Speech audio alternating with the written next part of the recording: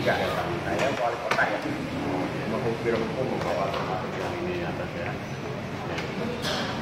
Penutup, kami juga sudah sampaikan bahwa bila mana dalam 30 hari ke depan eh, belum ada perkembangan atau informasi yang disampaikan kepada Ombudsman terkait dengan tindakan korektif oleh Pemprov DKI Jakarta, maka laporan akhir hasil pemeriksaan ini kami tingkatkan menjadi rekomendasi oleh Ombudsman Republik Indonesia Perwakilan Jakarta Raya.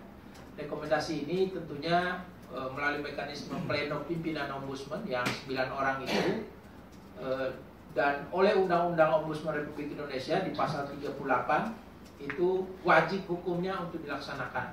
Sementara di pasal 39 Undang-Undang Ombudsman disebutkan bahwa kalau terlapor atau atasan terlapor yang diberikan rekomendasi oleh Ombudsman tidak melaksanakan rekomendasi Ombudsman maka ada sanksi karena ranahnya ombudsman adalah wilayah administratif, maka sanksinya juga administratif.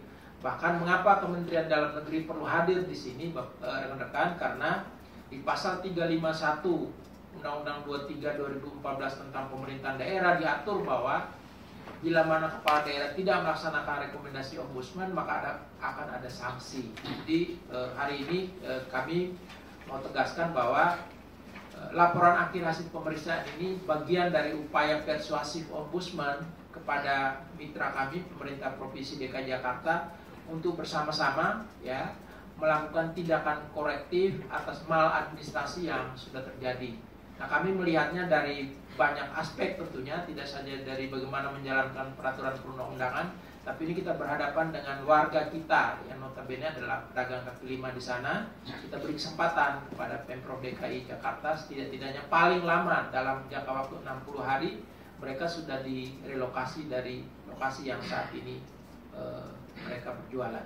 Saya kira itu Mas Kamsa.